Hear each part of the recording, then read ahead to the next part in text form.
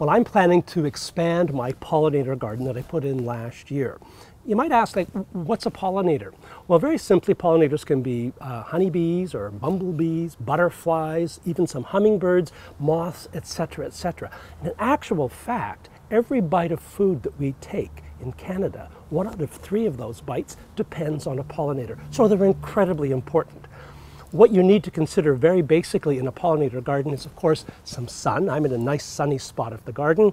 And you need to have a food source for the entire growing season. So spring all through summer as well as fall. So something as simple as a dandelion in the lawn provides very early spring food for the bees.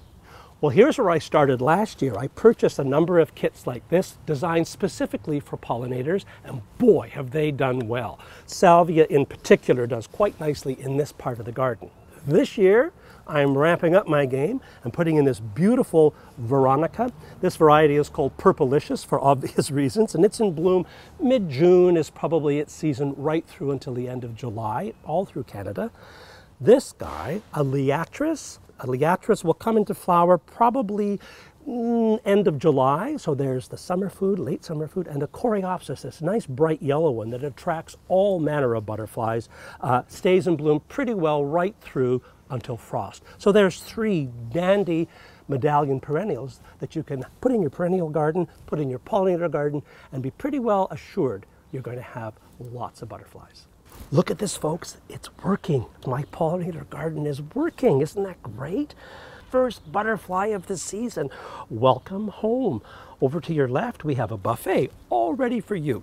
And here's another great pollinator, a lavender. Now, there are many different varieties of, of lavender. They all work wonderfully well and they smell just great too. No wonder the pollinators like them. But you'll notice this is not in the garden. It's in a container. You don't have to have a physical garden or a piece of land in order to encourage pollinators, or for that matter, grow just about anything on your balcony or your patio. That's where this is going, on the patio. Look what else I found. Backyard Bounty, a beautiful strawberry. This is going to go into a container and be hung on the wall eventually, so we'll have strawberries hanging down all summer long, fresh for the picking. Well, hi there. My name's Ken Beattie, and welcome to our new video series. It's designed for folks just like you, whether your thumb is green or not so green, to look at what goes on in your garden and what you can do about it to make it the best it can possibly be.